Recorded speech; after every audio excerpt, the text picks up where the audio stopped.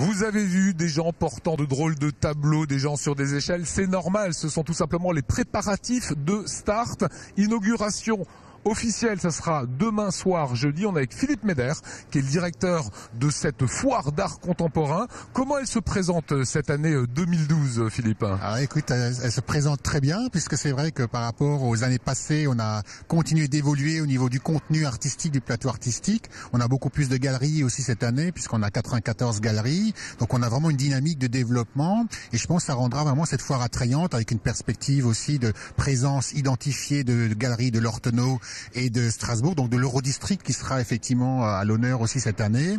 Et je pense que ça donnera une nouvelle dynamique pour bien montrer qu'en région euh, transfrontalière également, il y a un vrai potentiel de galeries et d'acheteurs.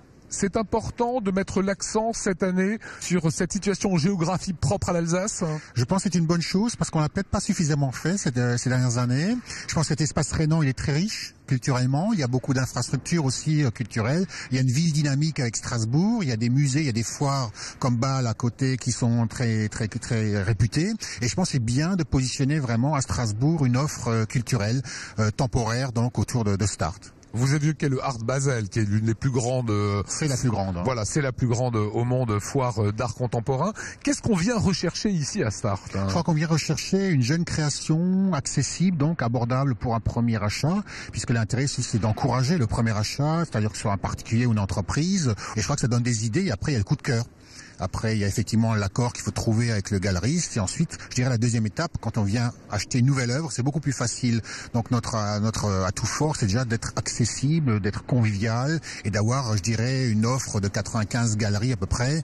Euh, et on ne se fatigue pas, ce qui n'est pas toujours le cas sur des foires un peu gigantesques où il y a 150, 250 exposants. On se rend compte aussi que le marché des foires est un marché relativement dynamique contrairement à l'activité de galeriste qui est très difficile aujourd'hui. Hein, une fois le vernissage passé, euh, les galeristes sont rares euh, à avoir passé encore une clientèle acheteuse dans les jours ou les semaines qui suivent. Donc on se rend compte que le côté convivial de la foire, ça fait venir du monde, ça fait venir des acheteurs potentiels, et donc certains réduisent leur activité en galerie, voire ferment ponctuellement, temporairement leur galerie pour se concentrer sur des marchés dynamiques comme les foires.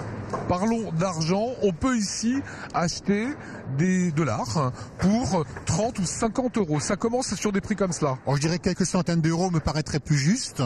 J'ai acheté moi un petit nain à 50 euros l'an dernier. Euh, oui, mais cet exposant ne vient plus cette année. je dirais c'est une première entrée en matière, c'est clair. Mais je pense qu'il faut aller vers d'édition et ensuite on évolue au niveau de l'enveloppe. Euh, mais la moyenne se situe entre 5 et 10 000 euros. Mais ça peut monter euh, à au-delà de, 100 000, 150 000, hein, puisqu'il y a certaines pièces qui vont dans ces prix-là. Dernier point, Philippe Meder. Est-ce qu'il y a l'une ou l'autre pièce majeure qu'on découvrira à Start cette année? Je pense à un Warhol, je pense à un Picasso, je pense à des œuvres comme cela. Je dirais on avait effectivement les années passées des, artistes euh, connus.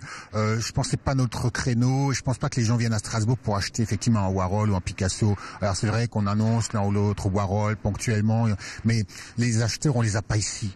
Hein, clairement, c'est pas une foire où les grands acheteurs vont venir euh, acheter ce type de travail. Ça, c'est vraiment la salle des ventes ou Bâle ou des grandes foires internationales. Chez nous, on, cherche vraiment de l'art accessible, d'artistes connus ou un peu moins connus ou inconnus. Voilà, c'est ce qu'on voulait vous montrer aujourd'hui sur Start. Inauguration, c'est jeudi soir. En revanche, pour le grand public, jusqu'à lundi, vous pourrez euh, profiter de tous ces galeristes européens.